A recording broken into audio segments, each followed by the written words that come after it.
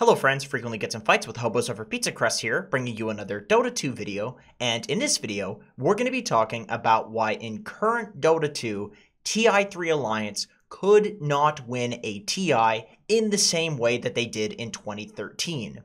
Why? Because split pushing is dead. Its body was cremated, and its ashes were thrown into the deepest parts of the Mariana Trench. At this point, you're probably wondering, and rightly so, how is this possible? The reason this is possible is because now more than ever, people are extremely good at abusing some of the core game mechanics such that they never have to leave an area unless they absolutely want to. Most importantly, you never really have to leave the enemy triangle if you have a lead in a game of Dota. And in a couple of minutes, I'll show you exactly what you can do to stay in the enemy triangle while you're ahead. But first, let's talk about why you would even want to play in the enemy triangle in the first place. In order to best illustrate how efficient it is to take over the enemy triangle, let's consider all four quadrants of the map. First, we have our triangle. This is the safest area on the map to farm. Why is this? Because there are many high grounds, and even double high grounds, leading up to a very small area with fantastic ward spots. On top of this, your middle lane and off lane towers are very close to each other compared to the safe lane towers, which means there are plenty of TP locations for your teammates to TP to, hence why it's so safe. Basically, your triangle is the Fort Knox of jungles. Next up on the list, we have our very own jungle. This area is relatively safe, just like our triangle, but it's a lot larger and therefore a lot harder to defend. However, there are still tons of towers nearby to TP to, and also some high grounds that make the area pretty damn difficult to penetrate for the enemies. Also, of course, it is worth noting that there are way more jungle camps to farm in our own jungle versus the triangle. After that, we have the enemy jungle. In coaching, I usually tell people that if they don't know where to be on the map, the answer is the enemy jungle. This is similar to our own jungle, but instead of towers, we have an outpost. However, the biggest benefit to the enemy jungle is that it's right in front of the enemy base. So, if you kill the enemies there, you'll already be knocking at their front door, and so therefore you'll get some free towers. If you die here, then you'll respawn by the time they're knocking at your front door. And finally, we get to the enemy triangle. This place, like I mentioned before, is the enemy team's Fort Knox, the last beacon of hope that they have in a losing game. If you take this area over, then the enemy team has an incredibly small and downright awful list of options to choose from.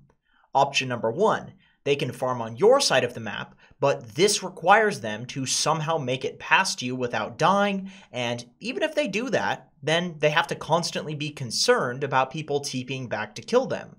Option number two, they can farm in their jungle, but similarly, they risk a few people TPing to the outpost and then everybody else moving over from the triangle to pincer them. Option number three, they sit in their base and they wait. On that note, I frequently get asked the question, Jenkins, when do I go high ground? It, it feels like my team always throws going high ground. And my answer to that is never.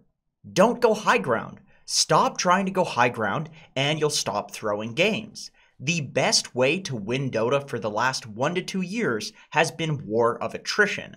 High rated pubs have adopted this strategy, but low rated pubs have not. So, if you can do this in your games, you will be doing something very, very important that nobody does all the way up until High Immortal bracket, which is incredibly game winning. That is, every single game, scream at your team to stand in the goddamn enemy triangle and wait for the enemies to engage their basic animalistic instincts, get bored, desperately want to hit creeps to hear that cha-ching sound, and then they'll walk up to you and feed. Okay, so now that we all agree that holding the enemy triangle is by far the most effective way to turn a lead into a win, let's take a look at exactly how to do it. Step 1. Purchase a Smoke of Deceit, an Observer Ward, and a Sentry Ward. Step 2. Press Smoke and go murder somebody. Whenever somebody dies, this will put the enemy team into a defense mode, and this is exactly what you're going to abuse to make the enemy team run away from their triangle instead of killing you the moment that you walk up. Step 3. Make your way to their triangle immediately after you get the kill. It's very important that in these moments, you do not hit a single jungle camp. This is exactly what pros mean when they refer to people playing fast Dota you don't have a huge window of time where the enemy team is in this defense mode just because death timers aren't that long, and it's also a long walk to the enemy triangle. So one jungle camp can often be the difference between making it there before they're alive and not. Step 4. Place your observer and sentry wards on a high ground and get as many heroes as possible to stand on the high grounds, waiting for the enemy team to walk up. During this time, you want some of your people to be jungling in the nearby area because, of course, you don't want to just be doing this without farming, with some other people just waiting patiently for the enemy team to walk up and die. You can also have some fast hero playing far away from where you are, and of course, you're going to get more farm that way. But this is usually the job for a hero like Queen of Pain, Ember Spirit, or Storm Spirit, because these heroes can quickly make their way to a fight if it does erupt. Step 5. And I cannot stress how absolutely crucial this step is, since this is basically the only reason that this strategy has dominated the game. You need to have two heroes aggroing the middle and side lane wave adjacent to the jungle. One of the biggest mistakes that I see in low rated pubs is that they have the opportunity to take over the enemy triangle, but they don't because somebody TPs away to deal with the creep wave that is in front of their base. This is old fashioned. If you do this, you are a Dota boomer. Do not be a boomer. Cut the waves properly and wait for the creeps to eventually make their way to the enemy base while you are still holding that triangle. The glory of this strategy, among other glories, is that if you're cutting two lanes of creeps, then it means that the enemy team can only be split pushing in one lane. And that's just not a threat, because two towers for one tower, or two lanes of racks for one lane of racks, is never a good trade. The final, and honestly most fun step in this strategy, is that you need to condition the enemy team psychologically to be scared and to not leave their base. You cannot just sit in the triangle, twiddling your thumbs if they disrespect you and walk into their own jungle to farm. You have to kill them. Remember how the first step of this strategy is to kill an enemy hero? Well, that's because step 6 is just step 1. Taking over the enemy triangle is a cycle, and this is exactly how high level Dota is played currently. If the enemy team leaves their base, you have to smoke to kill them, or you do some creative TP with a ganking hero and you set up to kill the enemy team.